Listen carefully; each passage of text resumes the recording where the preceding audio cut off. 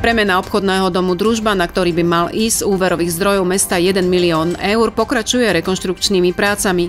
V súčasnosti sa realizuje zateplenie stropov v priestoroch suterénu a na terase. Po zameraní prebieha taktiež výroba nových okien a dverí.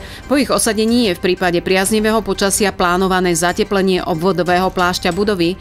Plánuje sa tiež obnova strechy, vrátanie zateplenia.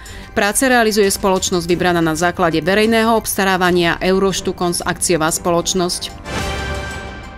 Radnica sa zamýšľa, kam posunúť vojenský historický tábor v Podhradí, ktorý treba po 14 rokov modernizovať.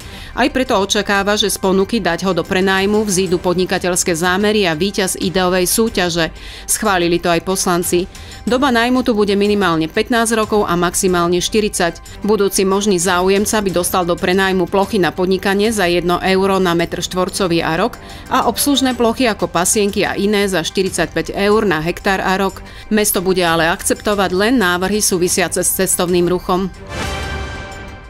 Rodičia budúcich prváčikov musia myslieť na zápis. Od 1. do 3. apríla bude prebiehať v čase od 13. do 17.